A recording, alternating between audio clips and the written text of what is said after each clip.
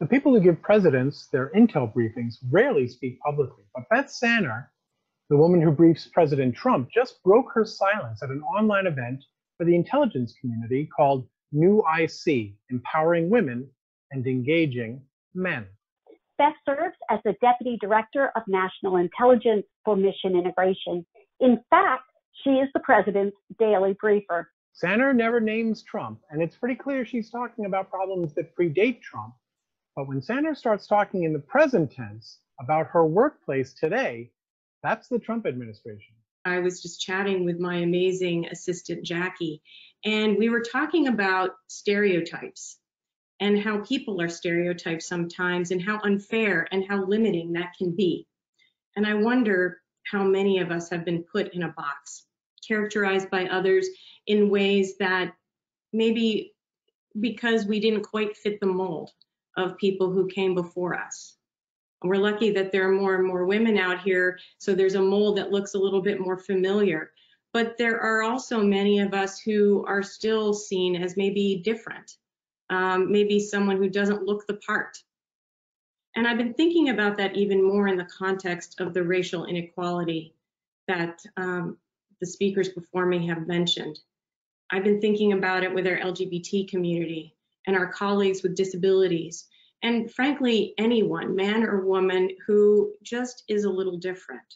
So many of our LGBTQ community still feel barriers to getting the positions that they seek and that they perhaps deserve. I truly believe we must think outside the box about spotting potential, about providing opportunities, about giving support to people who don't fit the previously defined molds. Sanner doesn't come right out and say it, but if you pay attention, it almost seems like she's saying we've got to do better at diversity. We have got to get better with diversity. And keep in mind that Trump has one of the least diverse administrations we've had in years. Mostly men, predominantly white, straight, Christian, non disabled. I'm pretty sure that I didn't get a couple of assignments, or I was pulled back from an assignment that I was supposed to get, or I didn't get a promotion. And not because I was failing, but because those in charge gravitated toward people who looked like them. And that's a particular problem when our leadership is not diverse. I've always believed the worst thing leaders can do in any organization is to overlook someone, anyone. We need everyone. At times, almost seems like Sanner is trying to give Trump advice on how to be a manager and a leader. As leaders, you should challenge the views of your subordinates about people's potential you should set up systems where everyone around the table can ask questions that aren't perceived as an insult or an incursion into someone else's territory, but as a team, you're challenging each other against the biases that we all have. You cannot accept one manager's view of someone. I have found this from experience.